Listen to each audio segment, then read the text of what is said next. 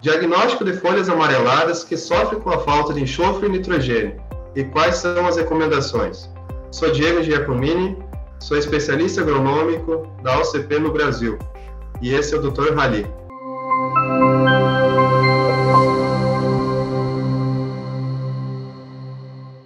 Nitrogênio e enxofre são considerados elementos essenciais para o desenvolvimento das plantas. O nitrogênio, macronutriente primário, é um dos mais absorvidos e é o que tem efeito mais rápido sobre o crescimento vegetal. É responsável pela cor verde escura das plantas e por desenvolver o sistema radicular.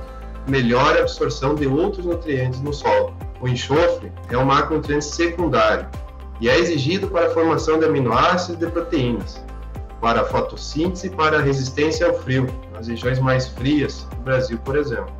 É importante para nodulação e desenvolvimento radicular. Quando esses nutrientes estão disponíveis para as plantas em quantidades menores que as demandadas, ocorrem sintomas de deficiência nas plantas.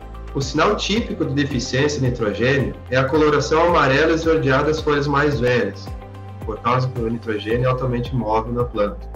Os sintomas de deficiência de enxofre aparecem como crescimento raquítico das plantas e amarelecimento mais intenso das folhas mais novas. Na falta de nitrogênio e enxofre, as plantas podem tomar uma coloração verde amarelada uniforme, folhas novas e folhas velhas. A principal fonte de N no solo é a matéria orgânica.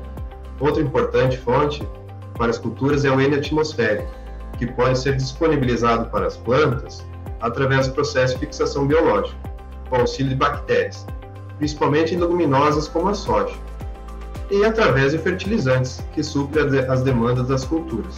A maior parte do enxofre do solo está na matéria orgânica também, e a complementação deve ser feita via fertilizantes ou condicionadores de solo rico em enxofre. E para termos uma adubação assertiva, é muito importante realizar uma boa análise de solo.